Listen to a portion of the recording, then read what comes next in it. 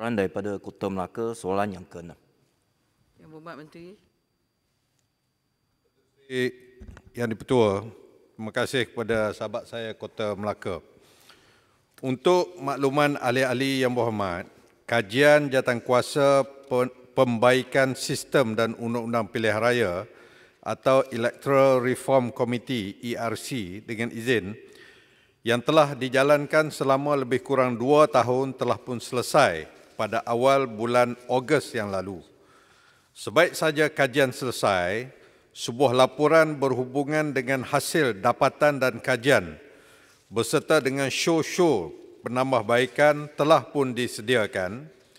Yang Amat Berhormat Perdana Menteri telah menerima laporan tersebut bagi pihak kerajaan daripada pengurusi ERC pada 27 Ogos tahun 2020 yang lalu di mana laporan ini mengandungi sebanyak 49 syur-syur penambahbaikan yang menyentuh perihal sistem, proses, dan undang-undang berkaitan pilihan raya. Kerajaan amat komited dalam memastikan pembangunan demokrasi adalah seiring dengan peredaran zaman dan keperluan rakyat di negara ini.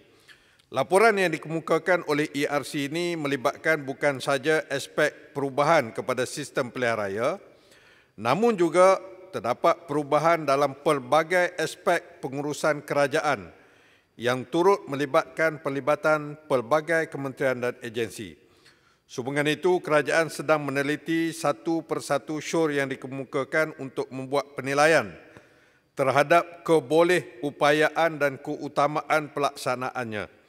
Kerajaan memerlukan masa untuk membuat penelitian kerana perlu mendapatkan pandangan dan maklum balas daripada pelbagai agensi khususnya badan yang berkepentingan utama seperti Suruhanjaya Pilihan Raya atau SPR. Justru ERC telah menyenaraikan pelan tindakan secara berfasa. Antaranya ialah mencadangkan agar diwujudkan sebuah badan penyelaras dan pemantauan tindakan untuk menyelaras dan memantau tindakan oleh pelbagai agensi kerajaan terhadap setiap syur yang dikemukakan. Dalam hal ini, Eh, Tuan Yang Ketua, kerajaan amat berhati-hati dan bersikap realistik dalam melaksanakan perubahan dan penambahbaikan untuk kebaikan rakyat. Kerajaan perlu juga memastikan bahawa setiap perubahan yang dilaksanakan akan benar-benar dapat memberikan nilai tambah kepada kehidupan rakyat di negara ini. Terima kasih. Soalan tambahan. Datuk Speaker, sebenarnya soalan saya lah, saya nak tanya dalam soalan asal saya ialah, adakah kerajaan bersedia untuk mengumumkan laporan ELC untuk kajian atau perbahasan dan tindakan bagi semua pemegang taruh serta pembuat keputusan? Iaitu soalan saya tapi tidak dijawab.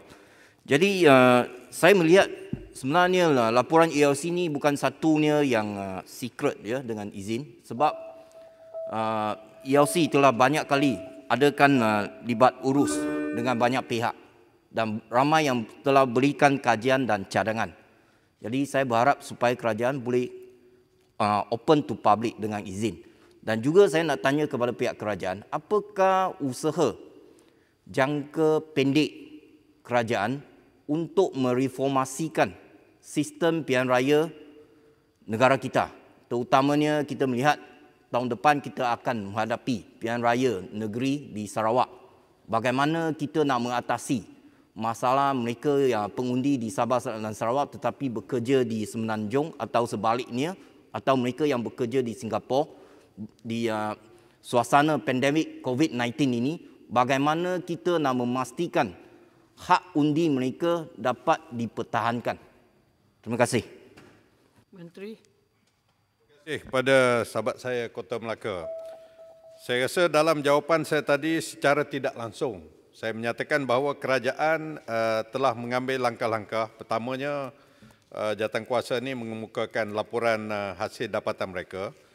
Kemudian uh, pihak kerajaan ini perkara perkembangan baru. Uh, pihak kerajaan telah menubuhkan satu uh, jawatankuasa khas untuk mengkaji semula apabila ERC ini mengemukakan laporan, satu jawatankuasa khas pula ditubuh diketuai oleh Yang Berhormat Gombak dan beberapa orang menteri-menteri kabinet untuk mengkaji finding atau dapatan ERC ini sebelum dapatan ini sudah tentulah akan dibuka untuk tatapan awam, untuk pihak awam memberikan pandangan.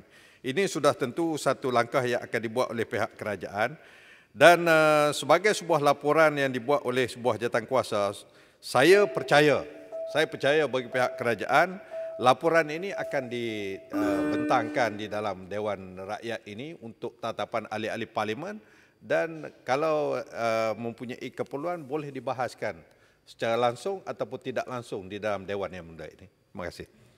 Yang